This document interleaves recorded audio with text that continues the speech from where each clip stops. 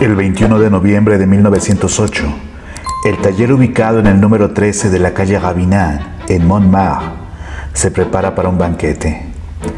Enclavado en uno de los barrios más humildes de París, el llamado por más Jacob Bateau Lavoir ha servido de refugio para pintores, escritores y demás artistas marginales surgidos de los rescoldos de París. Pero desde que el lugar ha sido ocupado por un ascendente Picasso y sus amigos, la creciente fama del español ha atraído a otro tipo de personas, intelectuales y coleccionistas que viven la bohemia por elección en busca del estímulo del riesgo. Hace muy poco, Pablo Picasso ha adquirido un cuadro de un pintor desconocido en la tienda del anticuario Sulir, en la calle de los Mártires. Retrato de mujer de 1895. Ha pagado 5 francos por él y su motivación ronda la curiosidad y la burla. Unos días después, Guillaume Apollinaire visita al pintor y frente a la obra exclama, ¡Ah, Rousseau! ¿Lo conoces? Apollinaire conocía todo el mundo. Como ocurrencia, Picasso propone celebrar un banquete en honor a la adquisición de la obra, invitar al autor, a sus amigos y festejar como se merece la compra de la pintura. En el fondo, Picasso despreciaba profundamente a Rousseau. Y aunque recordó este evento de múltiples formas pasados los años, los que estuvieron cerca en el momento del banquete han asegurado que la razón del mismo no era del todo honesta. Esa mañana de noviembre, Picasso hace llegar las invitaciones, encarga una considerable cantidad de alimentos y bebidas y pone en alerta a Montmartre sobre la gala en honor al artista desconocido al que Apollinaire apoda el aduanero. En ese momento Picasso lo ignora, pero el banquete cambiará el rumbo del arte en París e inclusive el del resto del mundo. Henri Julien Félix Rousseau era un humilde recaudador que en sus ratos libres tomaba su bitácora y acudía al jardín de plantas de París para realizar notas que luego convertía en ensoñaciones pictóricas. Nacido el 21 de mayo de 1844 en el municipio de Laval, Rousseau vivió la mayor parte de su juventud en Auray, por entonces una pequeña ciudad con una rica tradición medieval y de tapicería que inculcó en el futuro artista la paleta de color del arte francés previo al siglo XV. Un gusto que a juzgar por sus constantes visitas al Musée Cluny, especializado en arte medieval, lo acompañó a París, al que emigró en 1868 a sus 24 años. Ese mismo año, Manet terminaba el retrato de Mille Solá, y el medio del arte parisino era una zona de confrontación entre los impresionistas y los conservadores, en una ciudad que se debatía entre la disputa política y los estallidos de violencia que llevarían a la revuelta de la Comuna en 1871. Cualquiera diría que para un veterano como Rousseau, quien había cumplido con el servicio militar en la guerra franco-prusiana durante cuatro años, y con cierta fama de rebelde por haber purgado una condena acusado del robo de 20 francos, el medio beligerante de París resultaría estimulante para un espíritu inclinado hacia las artes. Sin embargo, el recaudador Rousseau no parecía especialmente interesado en participar en los debates sobre pintura. Los rumores sobre su condena habían sido exagerados y lo habían ubicado como un salvaje de la talla de Gauguin que mostraba en sus lienzos los exóticos paisajes que había visto durante su servicio. Si bien Muchos lo habían visto dibujar en los museos y los jardines. Su falta de ambición y su carácter afable, incluso algo ingenuo, hacía difícil cebarse sobre su trabajo.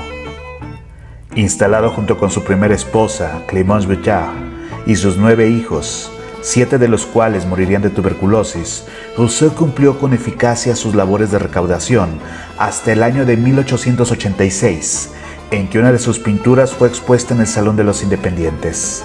Cuando Noche de Carnaval hizo su debut al público parisino, la crítica fue unánimemente negativa.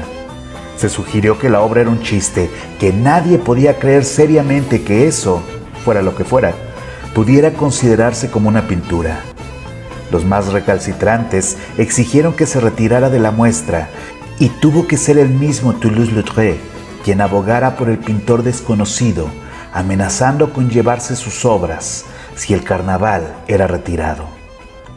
No fue un comienzo especialmente afortunado para Rousseau, pero llamar la atención de Toulouse-Lautrec tampoco es cualquier cosa. Fuera como fuera, la obra de Rousseau era particularmente ofensiva para un público que recién estaba digiriendo el impresionismo. La palabra infantil se reprodujo varias veces al criticar a Rousseau. Pero, ¿realmente un niño podría haber pintado esto? Presten atención al minucioso detalle en la silueta de los árboles. El espacio cuidadosamente controlado por encima del paisaje para dar la sensación de melancolía, anclada al uso de una paleta de colores fríos. Un poco burdo, puede ser, pero no hay nada de infantil en esta pintura. Aunque los críticos de la época evitaran mencionarlo, el problema con Rousseau era casi personal. Un pintor que aprovechaba los movimientos modernos para tratar de hacer un último sabotaje a las raíces de la pintura occidental. Anulando la perspectiva, trabajando sin técnica, olvidando las narrativas tradicionales. Tenía que ser una burla. Era como fallar todas las preguntas de un examen para reírse de los maestros. Eso, o el pintor era genuinamente un salvaje. Curiosamente a Rousseau esto no le hizo ninguna gracia. No le gustaba que lo llamaran salvaje, ni que se cuestionaran sus conocimientos sobre pintura.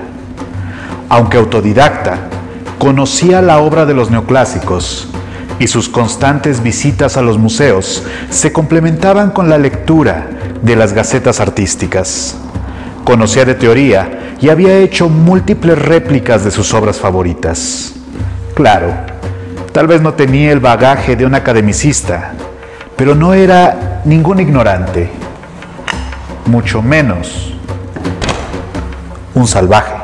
Y para demostrarlo, en 1890 pinta su autorretrato, yo mismo, un monumento al ego artístico, fuera de toda perspectiva y con un desprecio evidente por las proporciones. El pintor se retrata, paleta en mano, como un ente supremo sobre París. Detrás, un paisaje urbano, el puente de Carrousel, sirve de escenario para su declaración. Un viejo velero nos ayuda a comparar la altura del artista, que incluso supera a la de la Torre Eiffel, dibujada ridículamente al fondo, Junto a Seurat, el aduanero será el primero en pintarla. ¿En serio alguien cree que es casualidad? Rousseau nos ha dejado más pistas por si alguien tiene alguna duda de que esta obra es producto de una reflexión. A sus espaldas se advierte el barrio de los funcionarios públicos, donde él trabajaba. De frente, es decir, fuera del cuadro, la vía peatonal entre Louvre y la Academia de Bellas Artes, representando el destino para el artista, que luce las palmas plateadas, símbolo de la Academia, en el ojal del saco. Como remate, Rousseau escribe el nombre de su esposa, fallecida dos años antes, grabado en la madera de la paleta, aunque por debajo y veladamente oculto, se lee el nombre de su amante en ese momento. Rousseau conocía sus limitaciones, pero está consciente de sus posibilidades y del momento histórico que está atravesando. Tal vez nunca había pensado en ser pintor, pero sabe que sus ideas no son del todo erróneas. Redobla sus esfuerzos y comienza a dedicar más tiempo y dinero en su labor pictórica. Y en 1891 presenta, sorpresa, un asombroso cuadro donde un tigre confundido con la maleza está a punto de atacar. Si se lo están preguntando, no. Probablemente Rousseau nunca había visto un tigre. Pero tampoco hace falta. La fiera, sacada directamente de la imaginería medieval, tiene ese aspecto característico de las obras orientales. La vegetación, cuidadosamente desordenada, se agita por la tormenta que se aproxima desde el fondo y aunque su recepción crítica fue la acostumbrada, no fueron pocos los pintores que admitieron que tal vez, solo tal vez, el aduanero cuarentón tendría alguna posibilidad de crear una pieza decente. Una opinión mucho más positiva de lo que había obtenido hasta ahora. En 1894, y próximo a jubilarse, Rousseau está seguro de su carrera como pintor. Ha conseguido vender algunas de sus piezas y sus amigos, en parte por lástima, le compran retratos por una pequeña cantidad que le permite pagar una pensión. Ese mismo año, pinta una de sus obras más importantes, La Guerra, a la que añade una frase, pasa rauda, horrorizando a la gente, y por todos deja tras de sí desesperación, lágrimas y destrucción. Una vez más, la crítica que había encontrado en Rousseau un receptáculo sin fondo para los insultos, vuelve a la carga contra la obra. Alega que es una burla para los soldados e incluso encuentra sátira política contra el gobierno francés. Causa escándalo y es el servicio militar de Rousseau el que lo rescata de una posible demanda colectiva. Después de todo, ¿quién sino un soldado conoce la guerra? Inspirada evidentemente en la libertad guiando al pueblo, la alegoría no es tan sencilla como parece. Noten cómo el ridículo personaje femenino no está montando sobre el caballo, sino que lo acompaña en grandes zancadas sobre un mar de muerte, donde los cuervos han comenzado a devorar los cadáveres, incluso a los moribundos que apenas tienen fuerza para pedir ayuda. Vean ese caballo negro como una sombra que se extiende de lado a lado del lienzo, como una presencia sobrenatural. Dalí apreciaba especialmente esta pintura. Llegó a decir que contenía todo lo que el surrealismo era en esa imagen brutal de la muerte. Hay que admitir que a los pintores del momento la obra de Rousseau no les interesaba particularmente. De hecho, fue gracias al interés de otro gremio, el de los escritores, que la obra del aduanero comenzó a cobrar relevancia más como una distracción que como un asunto serio, pero no fueron pocos los hombres de letras que dedicaron sendas horas en los cafés, el verdadero campo de batalla, a atacar y defender la obra de Rousseau. Sobre la guerra, Alfred Jerry, creador del teatro del absurdo, dijo que nunca antes y nunca jamás se pintaría una obra como esa, un triunfo del arte francés que se repitió con la gitana de 1897. Mucho tiempo después de la muerte de su creador, el mismo Jean Cocteau escribió un ensayo donde preguntaba, ¿de dónde cae semejante criatura? ¿De la luna? La gitana no llegó hasta ese lugar donde duerme. Está allí, no está allí. No ocupa ningún lugar humano. Vive del reflejo. Es extraño, ¿no? ¿Qué había en la cabeza de ese aduanero venido a más, que insistía una y otra vez en el Salón de los Independientes con su obra? Sabía que era algo así como una broma colectiva, o era tal su ingenuidad, que no se daba cuenta de que nadie lo tomaba en serio. Tal vez ninguna de ambas. Para 1901, cuando pinta Desagradable Sorpresa, el mismo Renoir por entonces una vaca sagrada de la pintura francesa, llamó la atención sobre el cuadro, asegurando que mostraba el lado más terrible y violento de la naturaleza salvaje. Viniendo de un pintor famoso por tomarse en serio las cosas, no podemos subestimar el comentario de Renoir. Tal vez algunos se reían, pero otros, los que importaban al modernismo, rodearon a Rousseau de un aura de misticismo y violencia. Las nuevas ensoñaciones selváticas de Rousseau fueron mejor recibidas que sus obras pasadas. El refinado público francés sentía una inclinación por el exotismo colonialista. Obras como El libro de la selva, publicado en 1894 por Rudyard Kipling, y posteriormente El Tarzán de 1912 de Edgar Rice Burroughs, había instalado en el imaginario popular un gusto por la estética africana previamente explotado por el humilde aduanero, que para 1908 empezaba a acostumbrarse a poner de cabeza la crítica. La verdad es que solo el aduanero entendía del todo su obra. Era salvaje, remontaba al arte africano, pero también a las vanguardias y además tenía esa sensación de modernismo que tanto buscaban Gauguin y sus discípulos. sin proponérselo, o tal vez sí, quién sabe, Rousseau se acercaba peligrosamente al surrealismo que Magritte y Miró continuarían en el próximo siglo. En 1908, el aduanero, entonces con 64 años, se había resignado a que sus obras se quedarían en el anecdotario de Montmartre. Aunque era una celebridad entre los cafés de artistas, su trabajo no había hecho más que hacer rabiar a algunos críticos y conmover a un número igual de poetas y pintores de segunda línea, entre los que, tristemente, figuraba él mismo y sus ensoñaciones selváticas. Algo que no le impedía seguir pintando con cierta nostalgia, hasta esa inesperada invitación a un banquete en su honor, en el taller del fulgurante Picasso, líder indiscutible de las vanguardias que había conocido por casualidad en una cena de artistas. ¿Sería posible que Picasso, el gran Pablo Picasso, hubiera entendido las selvas y los tigres? Una pregunta que a sus sesenta y tantos años, Rousseau no tenía ganas de pensar demasiado. Halagado y no sin cierta suficiencia, Rousseau manda a planchar su mejor traje, recorta su barba un poco desaliñada y elige la mejor de sus boinas para acudir a la cita en el Bateau Lavoir, consciente de que probablemente se estaba jugando su última oportunidad de ser alguien entre esos artistas jóvenes que lo habían elegido para homenajearlo. No podemos más que sentir cierta ternura y un poco de pena por Rousseau. Más de medio siglo después, Picasso admitiría que el festejo había sido pensado como una burla para ese pintor salvaje de nula técnica y pobres habilidades. Pero desde el comienzo de la noche, algo parecía conspirar contra los bromistas, que por otro lado, se habían tomado demasiadas molestias como para no sospechar que había algo más que un afán un tanto cruel contra el pobre aduanero. Picasso había invertido una significativa cantidad de dinero en comida y bebida.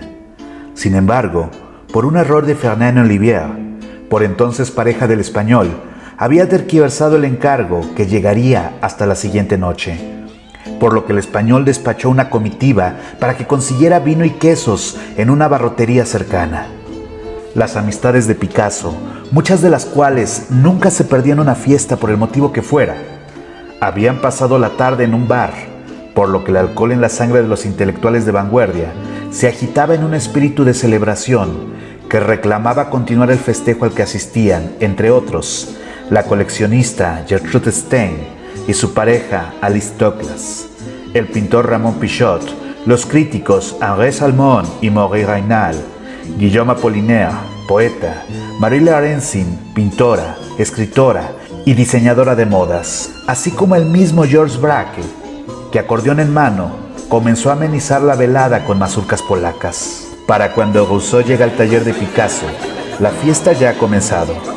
En el lugar de honor, un sillón barroco rescatado de alguna mueblería de Montmartre, yacía adornado con flor exótica robada de los jardines de París, y una manta colgada de lado a lado del taller anuncia al homenajeado. En honor a Rousseau, el pintor Manuel Blasco, presente entre los 30 invitados, inmortalizaría el momento en una pintura que se antoja mucho más naif que la propia obra del invitado de honor, pero que nos da una lista de los principales comensales, así como una rápida ojeada al taller de Picasso, donde, detrás del niño llevando un caballo, se asoman las señoritas de Aviñón, ocultas del ojo de los refinados asistentes. Sin sospechar nada, Rousseau presidía la cena con la solemnidad de un viejo maestro entre sus jóvenes pupilos. En cierto momento, Guillaume Apollinaire fingió improvisar un poema en honor al pintor, que leyó con gran pompa, reclamando la atención a los presentes. ¿Te acuerdas, Rousseau, del paisaje azteca?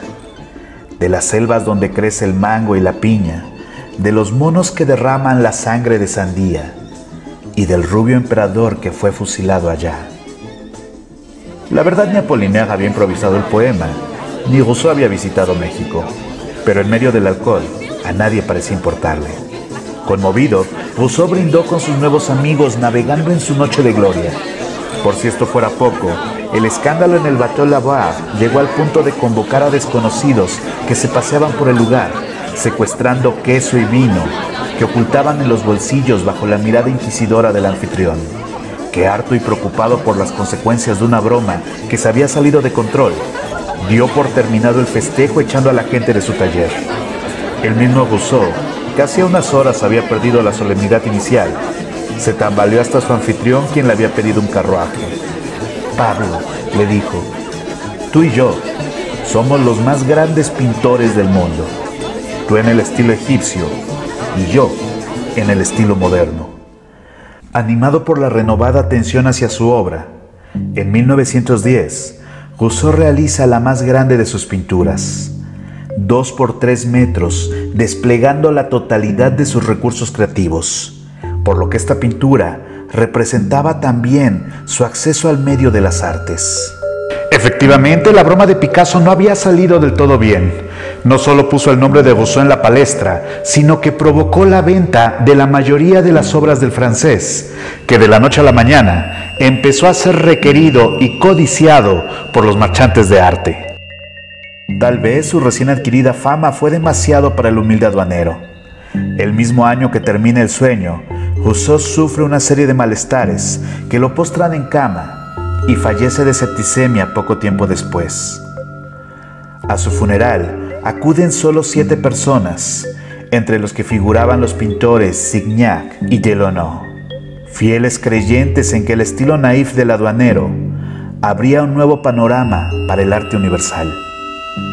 Tras su muerte, su obra comenzó a circular en los principales museos de Europa y su nombre se citaba al lado de los surrealistas que ubicaban en su trabajo un momento decisivo en las artes europeas. Pintores como Chagall, Magritte y Miró no ocultaron su fascinación por el francés y desde las letras no han sido pocos los que ubican en Rousseau el origen del realismo mágico tan de moda en el siglo XX. Su influencia ha trascendido en el tiempo y se ha convertido en un pilar de la cultura pop. Y es imposible no relacionar su trabajo con artistas actuales como Botero y la escuela del naif latinoamericano. No hablemos ya de la ilustración infantil, que tiene en el aduanero uno de los cimientos por su capacidad única de imaginar lo inimaginable. Su obra cuelga al lado de Picasso, Renoir, Matisse y otros grandes del modernismo que cansados del rechazo oficial construyeron su propio camino hacia un nuevo modo de entender el arte y la pintura.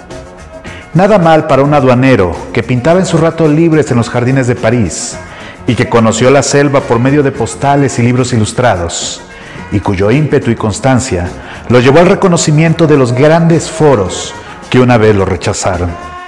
Nada mal, señor Rousseau. Nada mal.